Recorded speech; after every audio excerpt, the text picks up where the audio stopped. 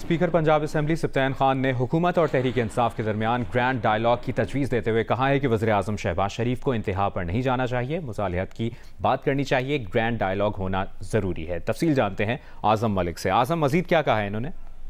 जी, बिल्कुल speaker Punjab assembly Sibtain Khan ने अपने चैम्बर में मीडिया के नुमाइंदों से गुफ्तु में कहा कि 9 मई के वाक़े पर उनका दिल बहुत रंजीदा है। उनका ये कहना था कि स्पाइस से लेकर लेफ्टिनेंट जनरल तक फौज में उनका हिस्सा है और फौज में दो उनके अपने शोधा हैं। उनका कहना था कि नाखुशगवार वाक़ हो, इसकी जितनी भी मजम्मत की जाए, कम है। उनका ये कहना था कि फौज हो या कोई अदारा, सब अपने हैं। और उनका ये भी कहना था कि वो बेगना लोगों के साथ ज्यादती के हक में नहीं। ये उनका कहना था कि तरीक बताएगी कि कौन सही था और कौन गलत? उन्होंने कहा कि वो कोई तरीके इंसाफ के हवाले से फैसला नहीं ले रहे और ना ही उनके ऊपर कोई दबाव है। उनका ये भी कहना था कि फौज और इदारे उनके अपने हैं, इदारों के साथ मिलकर चलना चाहिए। उन्होंने कहा कि आसफ रजाई ने डायलॉग की बात करके अच्छा कदम उठाया है। शबाज चीफ को इंतहा पर नहीं जाना चाहिए और एक ग्रैंड डायलॉग होना चाहिए ताकि मुल्क की जमहूरियत के लिए बेहतर हो। जी।